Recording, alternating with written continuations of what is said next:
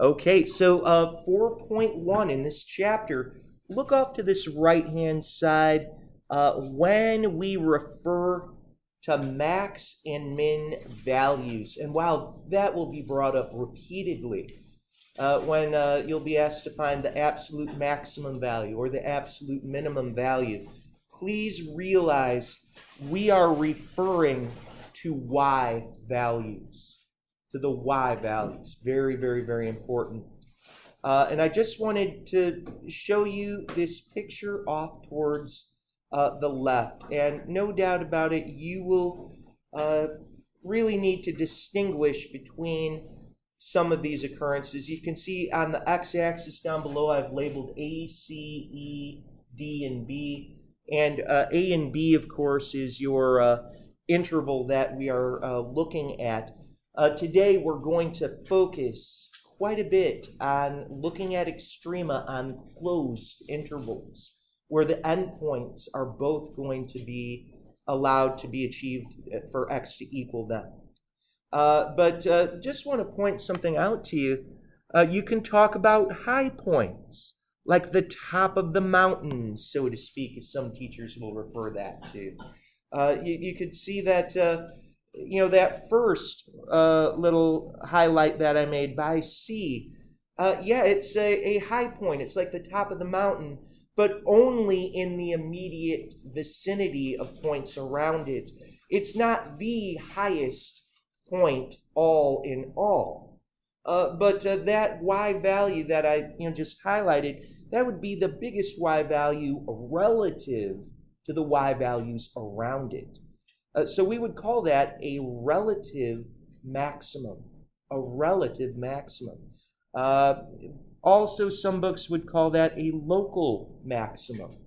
A local maximum meaning just in that locality in, that immediate region, that would be the highest point.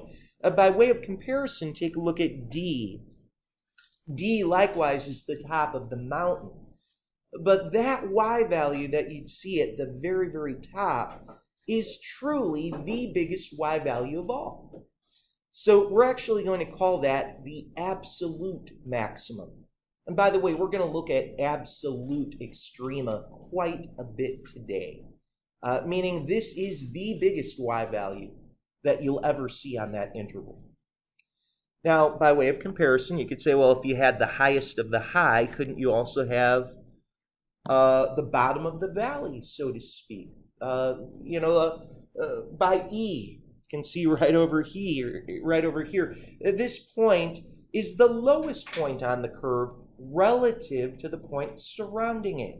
It's not really the lowest smallest y value in all of the points shown, but you can see that's like the bottom of the valley. We would refer to that as a relative minimum.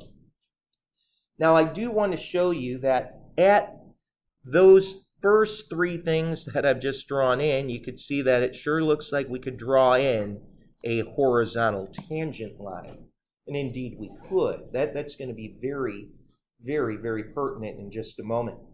Uh, but look, if someone were to say, well, what is the smallest y value that you'd ever see?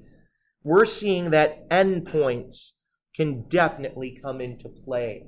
That's another huge part of today's lesson. That we should always check endpoints because endpoints can, and in this case will, uh, have the biggest or the smallest y value in all of the curve. Now, by way of comparison, when you look on the far right edge right here at B, you can say, well, wait a minute, that clearly is not the largest or smallest y value uh, in the mix. We would just simply refer to that as an endpoint. Okay? So we're just getting some vocabulary down, and, and it's important vocabulary. And, uh, you know, let's go ahead and take a look at example one. And example one, maybe uh, this will really drive home that on this interval from 0 to pi over 2, well, my goodness, we're going to first maybe graph it. Let's just get this thing graphed. Sine. Sine can always have a smallest y value of what? Negative 1, right? And a biggest y value of positive 1.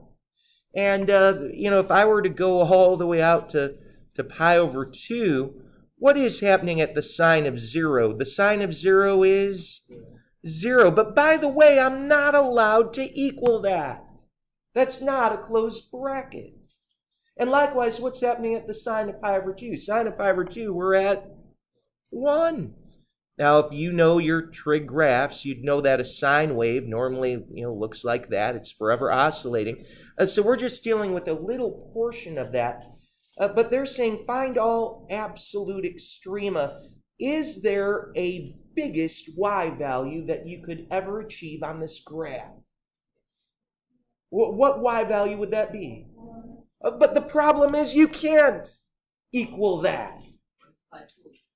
But you see, look at this. At the sine of pi over 2, kids would say that's equal to 1. Am I allowed to plug pi over 2 in? Nope. That's why there's an open circle up there. Do you see the problem? Someone would say, well, the largest y value is a 1. Uh, sorry, you never reached that. You never really reached that. Yes?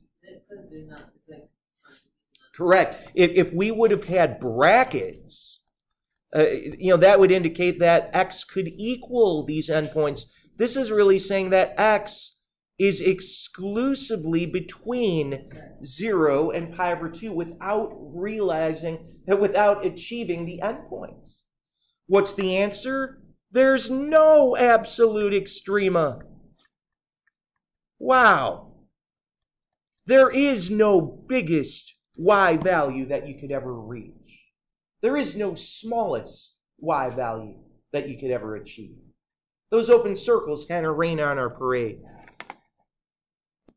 All right, the extreme value theorem.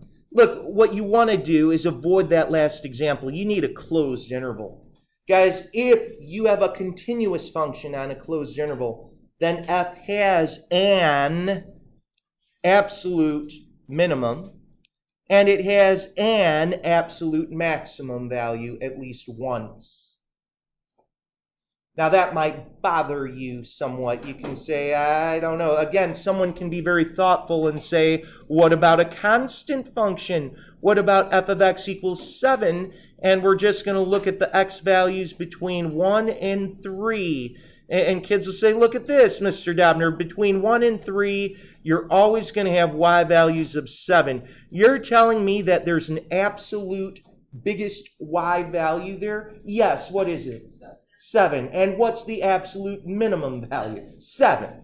Right? That's the, the biggest and the smallest, right? It's the only y value that you have. So even as you try to come up with some clever trickery to get out of the extreme value theorem, it's uh, take it on good faith. This is true.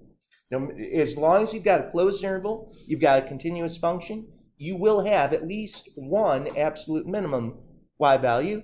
Uh, you will have an, a singular absolute minimum value, and an absolute maximum value. They uh, very well could be one and the same, like we saw. Here's your theorem. If f does have a local extremum, hey, all of a sudden that just means that, you know, relative to its surroundings, uh, it's the largest y value or the smallest, then one of two things has to happen. Either f prime of c at this x value is zero.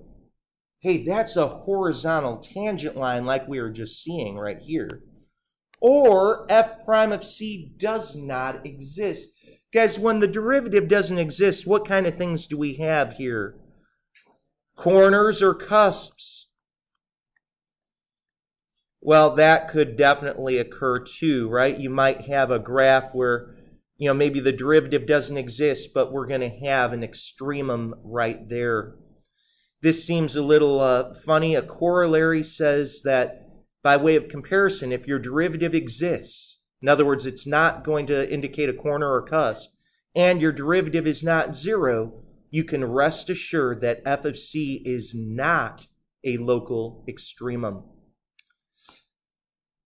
And then this theorem right here, this seems to be saying so much of the same thing. If f is continuous on a closed interval, so huge, and it has a relative that is like a local maximum or a relative minimum value at x equals c, where c is somewhere on this open interval, then one of two things are going to happen.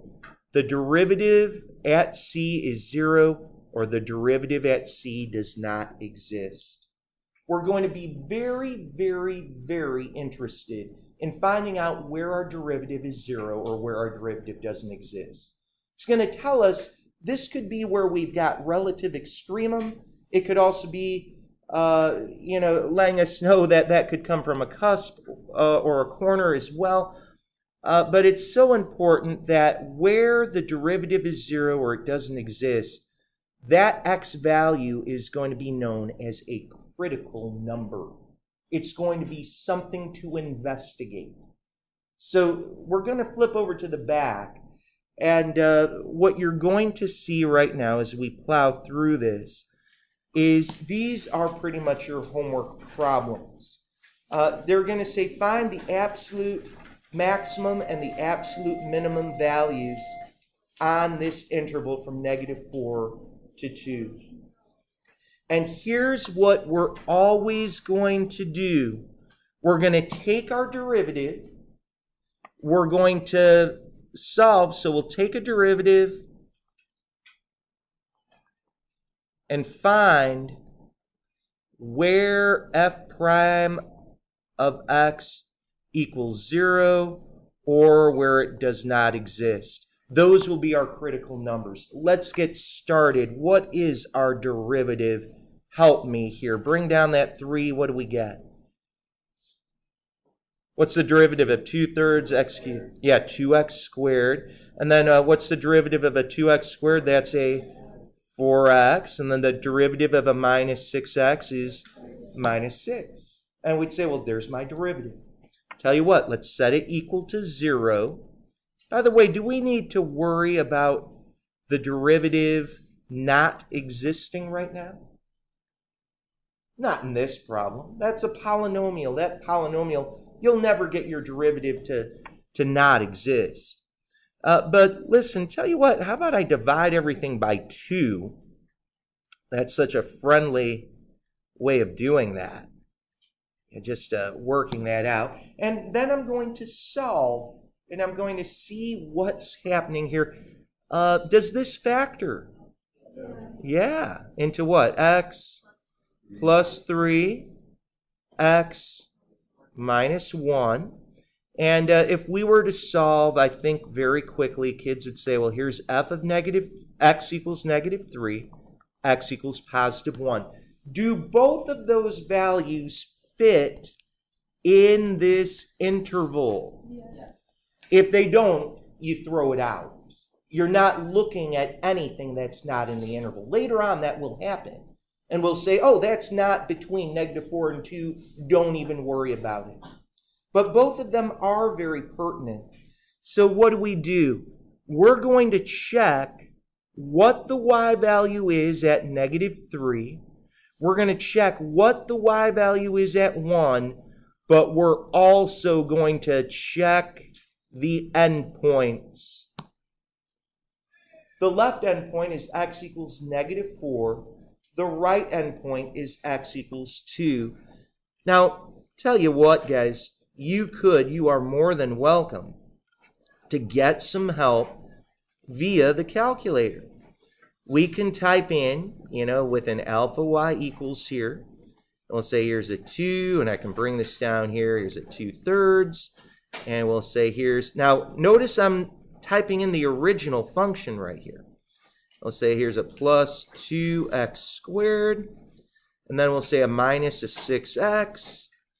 And uh, what I want to do is plug all these in. So tell you what, I'm actually going to go to well, you could go to auto or ask. Right now, I'll just go to auto uh, and show you at negative 4, we're going to get 40 thirds. At negative 3, we're going to be at 18.